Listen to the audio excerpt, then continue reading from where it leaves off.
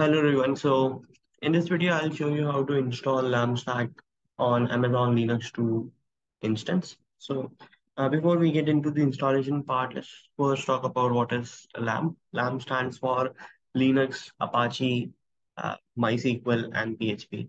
Okay, so it's a stack of the backend programming language like PHP, our web server, Apache, and the database MySQL all right, running on a Linux operating system. So many applications uh, work on LAMP stack. So to give you an example of a LAMP stack based application, we have something known as WordPress, which is a content management system, right? Many website, and it is or it is being said that 70% of the internet or 70% of the websites on the internet are powered by WordPress.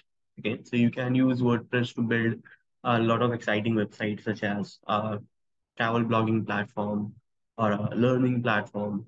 Okay.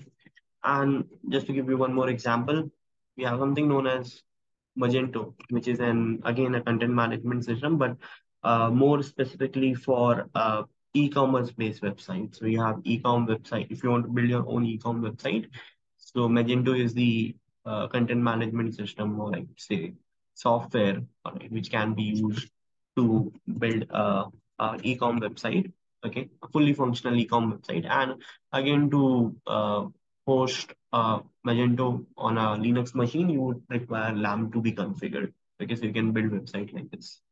So with this being said, let's log into our EC2 instance and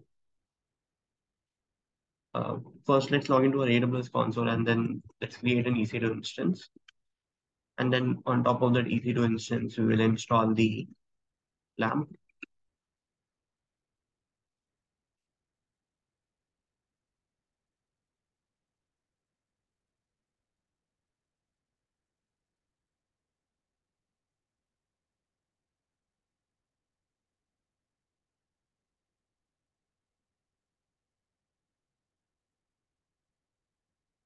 Yeah.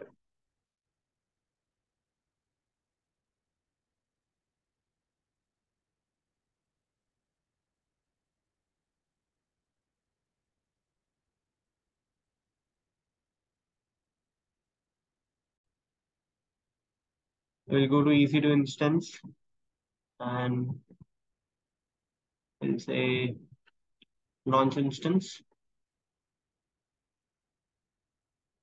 Let's call it as LAMP server. Select Amazon Linux 2 as our operating system. Then a key pair and select T2 micro size. And I already have a default security group where the necessary ports are allowed, so I'm not creating a new one. And I'll launch this instance. Now for the commands part, I would be following the AWS official documentation over here, which talks about how to install LAMP. So uh, all the commands required to install the LAMP stack is over here. I'll go line by line, try to explain you this command and we'll do the installation.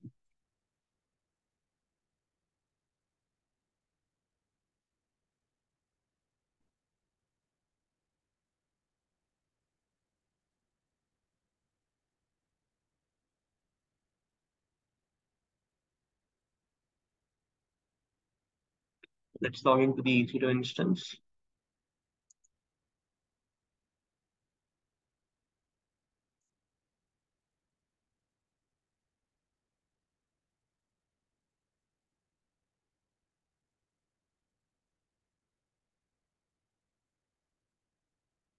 And we will elevate the privileges. by doing sudo su. Now, would be recommended that if you can uh, quickly do a OS upgrade or the Linux kernel upgrade by doing yum update. So what this will do is uh, yum will basically check for all the packages which are not up to date and will try to update those packages. Okay, so there are no packages which are out of date. Now next we are installing the uh, from the Amazon Linux extras repository. We are, install, we are, we are installing LAMP MariaDB PHP 7.2 and PHP 7.2. Now, why two times PHP 7.2 and MariaDB PHP 7.2? So this is like an external extra library on top of PHP, which enables PHP to talk to the MariaDB or MySQL database. Okay, so that's why we are installing both. Okay, then after that, we'll install HTTPD server, which is Apache web server, and the MariaDB database. So we have installed P, which is PHP in our LAMP. We already have L, which is Amazon Linux. Then we are installing Apache A, and we are installing MariaDB for M. So that completes our LAMP stack.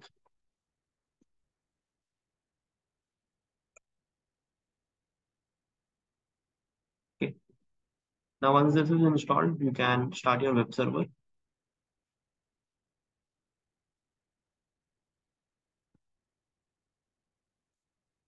So systemctl start HTTPD will start your Apache web server, and then next we'll say systemctl enable HTTPD, which will make sure that your Apache comes online automatically after every reboot. So you don't need to manually uh, bring up your HTTPD or Apache web server.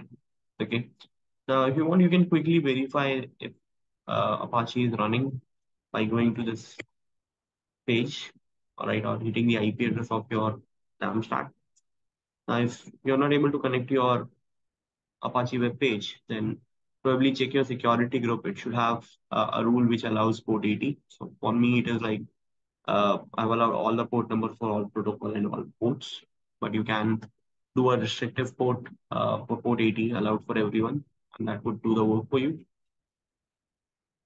So once this is installed, next what we'll do is uh, we are adding EC2 user to Apache group. So Apache web server we have installed, it would have created a group. Okay, inside that group, we are adding the EC2 user, all right, so that the EC2 user gets the necessary permission. Though EC2 user would have all the permission because that is a super user, but yeah, we'll do this. And then next, okay, next what we are doing is we are uh, giving the Apache uh, service permission to this directory. Okay, so change the group ownership of var www and its content to Apache. So by default, the owner of this directory is uh, EC2 because this is the user we use to install the Amazon, uh, we, we use to install the HTTPD. Now we are making the Apache web server the owner to this directory. Okay, so we'll do this. And then we're giving some permissions. Okay, all right, 277 permissions, okay, on this directory. Okay, so again, it's a recursive permission on this directory. Okay, so the Apache group will have permission on that directory. So we have changed ownership. We're giving permission. Okay.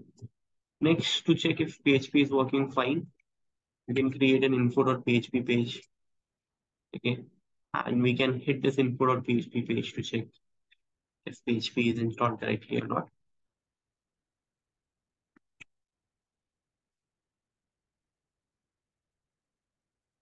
In PHP, okay. PHP info.php. That will show you the PHP version. Okay.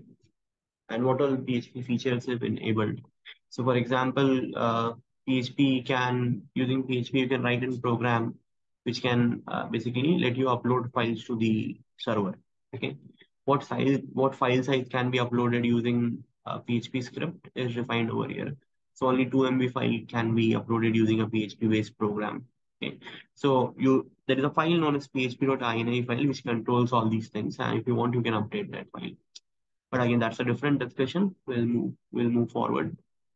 Okay, now if you want, you can remove this uh, PHP info or info.php page.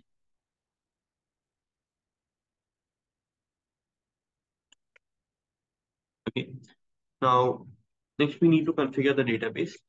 So MariaDB server is already installed. We'll start the service and then we'll do a secure installation. So now we'll, we are actually configuring the MariaDB or MySQL database. So we don't have any current root user password, so I'll leave it blank. We want to set the password and I'll set the password. Okay, if you want, you can remove the anonymous user. Okay, I'll say yes, just remove it. Disable remote login. I'm, I let if you disable this, then you won't be able to log into your database uh, from a different client. So whenever you want to connect to the database, you would need to first log into this machine and then only you need would you be able to log into the database. I'm not removing, I'm not disabling the anon remote access. There's a no to this. I'm not removing test database. I'm reloading the privileges. Okay, so the database is installed and stop the database service. We'll make sure whenever you reboot the database, it comes online again. Okay. Next, if you want the optional step, you can install PHP MyAdmin. So what PHP MyAdmin does, uh, PHP MyAdmin gives you a access to your MySQL database through a PHP-based web application. So through your public IP address, right, there would be an application which will launch. And that application, through that application, you can connect to your uh, MySQL database and you can do whatever you like. You can create tables, you can run a SQL query, you can do all those things. So if you want, you can install this additional uh, package, okay, which enables you to uh, run PHP MyAdmin, but I'm not doing it. But you can follow these steps and you can install PHP MyAdmin. So this is what PHP MyAdmin web page would look like, okay. And once you're logged in, you can configure your database. Okay. Now, just to check if my uh, installation is working correctly or not. Okay. I'll start the database. First, let me start the database. And I'll create a simple PHP application.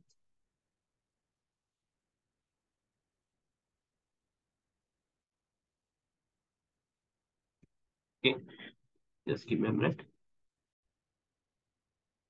Okay, so this is a small PHP application which is connecting to the database locally. And that's why it says localhost over here.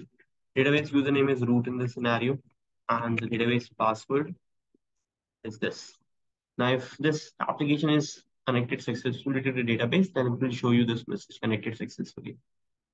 If it's not able to connect successfully, then it will show you an error. Okay, so let's create this application on our LAMP server. So we'll go to var www HTML directory. And here we'll say index.php. We'll copy paste this small application. Okay. And now uh, we'll try to access this application. Okay. And this application will in turn try to access data database. And if it's able to connect to the database, it will show a successful message. And here we have the successful message the application was able to connect to the database and it is showing the message connected successfully. All right, so this is it for this video where we saw how to install LAMP stack so that you can run LAMP based application like WordPress and Magento on Amazon Linux machine. I hope you liked this video. Thank you for watching.